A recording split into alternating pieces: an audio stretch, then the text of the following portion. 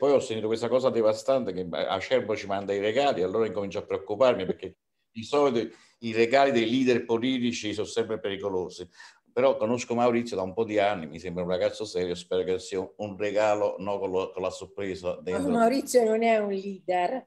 Ma sai, l'ho conosciuto... Ah, l'ha, l'ha anche scritto, ah, ragazzotto. L'ha anche scritto, no, se l'è anche autoscritto. Non so se lui ci si ascolta.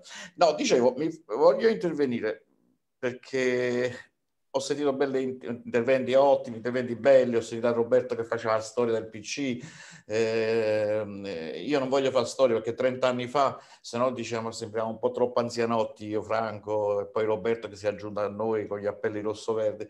Cioè, noi questa strada e questa pratica l'abbiamo pensato tanti anni fa. La Sentinelli ha detto una cosa molto bella che quando arrivavamo al massimo dell'apice faceva anche un giornalino che si chiamava L'insostenibile dove si parlava della insostenibilità eh, facendo questa condizione e questo gioco dei nomi e poi si dava voce al territorio. Poi ho scoperto che Transform è parte integrante ormai delle lotte territoriali, che sento questa cosa bellissima, fa piacere per il mio amico Roberto. Eh, eh, cosa dire? È complicata, eh? È complicata perché, perché il bisogno è maledetto, il bisogno è, che abbiamo in questo paese, ma nel mondo, di un ambientalismo dove eh, incomincia a mettere in discussione il modello economico, come diceva giustamente Riccardo Rivici, in, in, comincia a mettere in discussione il ciclo delle produzioni. È un ambientalismo, ma non è l'ambientalismo, è dovuto se vogliamo fare pace con madre natura. Madre natura ci manda tutti i giorni dei messaggi che sono ben precisi e ben chiari. Noi purtroppo siamo sordi, siamo stati sordi per anni. Devo dire la verità, nel 2001 con Genova, quando lanciammo, mi sembrava che forse avevamo sbloccato perché nella discussione, nella critica alla globalizzazione ovviamente si toccavano questi punti che erano punti importantissimi. E purtroppo è successo quello che è successo. Oggi è una necessità, ma non solamente italiana, è una necessità proprio del pianeta se vogliamo riappacificarci pianeta, col pianeta. Il problema è complicato, il dovere è, un dovere partecipare, un dovere tentarci. In Italia, devo dire la verità, è molto più complessa. Di, eh, la situazione italiana è abbastanza complessa e complicata perché in Italia eh, abbiamo avuto uh, sulle questioni ambientali, sulle lotte territoriali, varie truffe. Truffe eh, dove, quando io dico truffe, io ho una mia visione personale molto brutta perché io sono proprio, cioè io dico Berlusconi ha fatto guai, ma che le guai che ha fatto eh, Di Maio e, e gli altri amici sono peggio. Perché, è, è, perché loro si sono innestati nel movimento, hanno illuso i territori, hanno fregato i territori, hanno fatto sognare persone. Di solito chi sogna e poi viene fregato è complicato poi con le persone riappacificarsi, perché quando distruggi un sogno non è una, una cosa bella.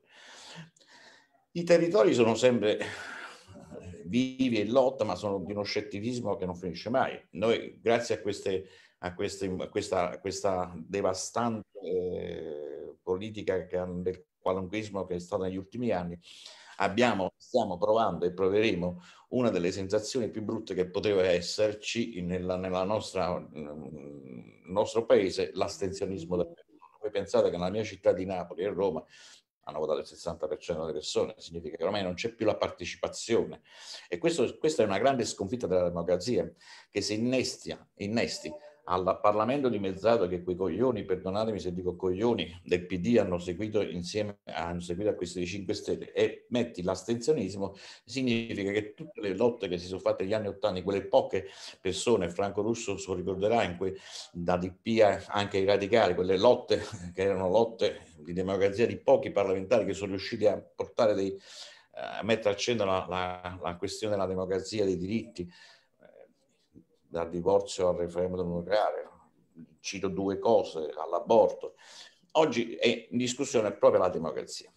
Abbiamo un dovere di tentare, abbiamo un dovere di starci in mezzo, di fare il possibile, ma è molto complicato, perciò io sono, io personalmente poi mi interesso di queste cose qui, vedo ogni giorno qualche cosa, eh, cioè vedo sempre che ci sia, che c'è una situazione veramente esempio una piccola associazione che Patrizia, Roberto e Franco conoscono bene, che noi abbiamo creato tanti anni fa, un'associazione ambientalista, perché quando noi negli anni 90, eh, inizio 2000, pensammo di fare un'associazione e metterla a disposizione dei, delle lotte territoriali, perché in Italia abbiamo anche un problema folle. I comitati non, possono essere, non sono rappresentati se non, non hanno la rappresentatività per fare un ricorso, per fare un incontro. E noi creiamo questa associazione riconosciuta dal Ministero dell'Ambiente per poter patrocinare ed essere eh, vicino a questi comitati che giustamente fanno delle lotte. Io grazie, ultimamente ho, ho scoperto una cosa che grida vendetta, l'altra volta facevamo una riunione e mi chiedo scusa se non ho partecipato perché mi sono dovuto allontanare, a Pisa sta succedendo dell'incredibile. A Pisa l'ambiamento, a Pisa nel parco di San Rossore, che è uno dei parchi più belli d'Italia, ma un parco poi particolare che c'è anche la storia, c'è anche, non è solamente la questione della biodiversità, eh, stanno, vogliono costruire su, su 80 ettari quel parco 8, 8 ettari di, di, una cittadella militare. Cioè, voglio dire, eh, la dice tutto quello che sta succedendo sul nostro territorio. Per non essere è noioso e per essere molto e per chiudere, io quando Franco mi ha mandato l'appello, l'ho letto, erano, dico Franco, noi l'abbiamo fatto 30 anni fa, figurati se io non ci sto. Pensa che sia un dovere partecipare. Io ci sto.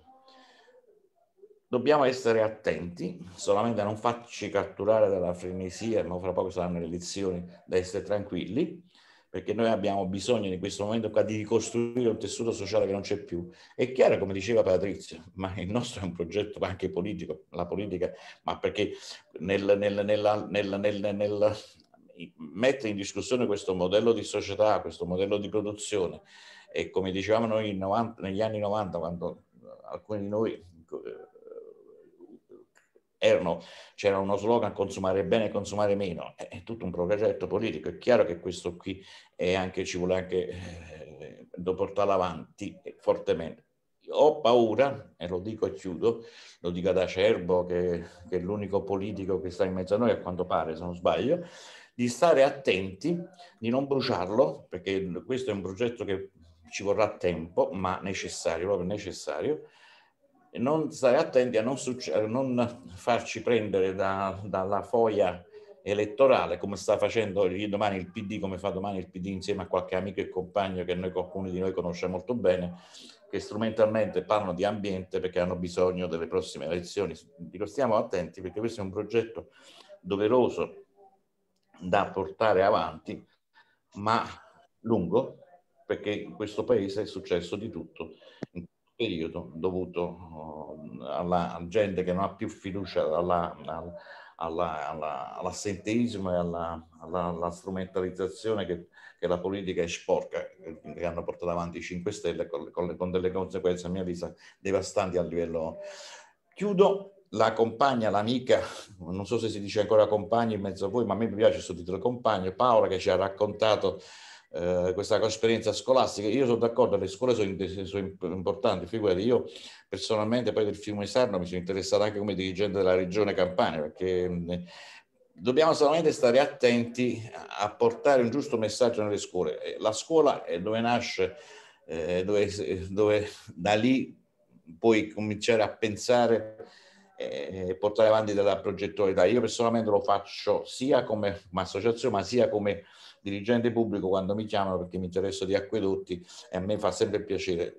Penso che, che, che sia uno degli strumenti in mezzo, nella scuola portare la voce e far capire eh, ai, ai, ragazzini come funzionano dei, dei, come funziona il ciclo della natura, perché la natura è complessa, la natura è una cosa stupenda, ha bisogno che, anche di essere spiegata. Io dico, faccio e chiudo davvero, quando vado in una, una scuola, mi capita anche all'università, dico, ma quando aprite il rubinetto, voi avete mai pensato come arriva l'acqua nel rubinetto? Le confesso, non alle elementari, non alle medie, ma anche alla, alla, all'università non te lo sanno dire. E questo significa che non riescono a capire la complessità del, del sistema della natura, e, e, che è un sistema complesso, bello, stupendo, che però ha, ha delle sue regole, che l'uomo ultimamente non è che le rispetta molto. Grazie a tutti. Grazie Ciro.